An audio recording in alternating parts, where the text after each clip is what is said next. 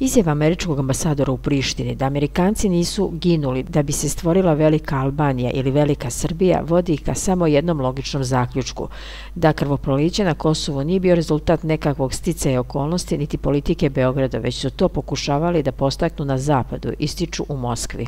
Kako je rekla potparolka Ruskog ministarstva spoljnih poslova Marija Zaharova, sudeći prema izjavi američkog diplomate, sve je to bilo isprovocirano s polja s ciljem nezakonitog ocipljenja te teritorije Srbije. Sve su to isplanirale zapadne specijalne službe i sve je realizovano uz njihovu direktnu borbenu materijalnu stručnu podršku. To je zaključak na osnovu citata iz intervjua američkog ambasadora, rekla je Zaharova na redovnom briefingu za novinare. To je važno svjedočanstvo, dodala je ona, koje ne ostavlja mogućnost da se i dalje podržava mit o namerama Vašingtona i njihovih saveznika na Balkanu.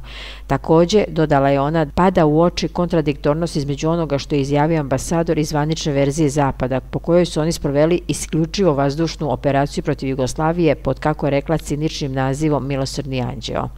Prema onoma što je izneo NATO alijansa, tada nije pretrpila gubitke. Sada se ispostavlja da je sve bilo drugačije. Očekujemo objašnje iz Vašingtona i povodom Milosrdnog anđela u Srbiji i prvih individualnih zahtjeva NATO za kompenzaciju za štetu nanetu zdravlju zdravlju kao posljedica korišćenja municije sa osiromašenim uranijom tokom bombardovanja, rekla je ona. Ona je navela da se i posle 20 godina od agresije NATO pokazatelje čitavog niza bolesti, uključujući onkološke, znatno iznad prosekva.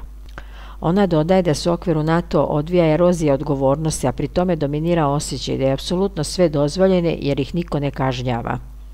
Kako je dodala, Alijansa uporno odbacuje da je na teritoriji Srbije korišćeno takozvano oružje bojeći se stvaranja presedana u slučaju daljih zahteva za kompenzaciju.